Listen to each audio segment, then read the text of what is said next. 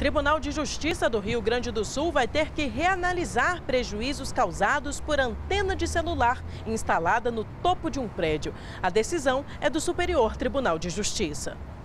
Por unanimidade de votos, os ministros da terceira turma do STJ reconheceram omissão em decisão do Tribunal de Justiça do Rio Grande do Sul, que condenou a TIM Celular do Centro-Sul a indenizar uma moradora do último andar de um prédio. Ela teve danos materiais após a instalação de antena no topo do edifício.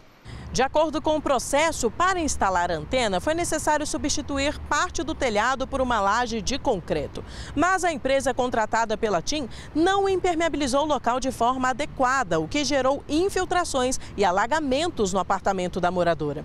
A Justiça Estadual condenou a TIM e o condomínio a pagarem 20 mil reais por danos morais. A empresa recorreu e alegou que a sentença não se limita apenas aos prejuízos causados pela instalação da antena, uma vez que o laudo apontou também agentes naturais como causadores do problema. A relatora do caso no STJ, ministra Nancy Andrighi, reconheceu que o acórdão foi omisso em relação ao pedido da TIM para que fossem excluídos da indenização os prejuízos causados pela ação de agentes naturais. A magistrada destacou que o próprio laudo pericial afirma que os imóveis localizados no litoral gaúcho sofrem agressões de agentes naturais, como umidade e maresia, e isso exige manutenção. Por conta disso, a ministra determinou que o processo volte ao tribunal de origem.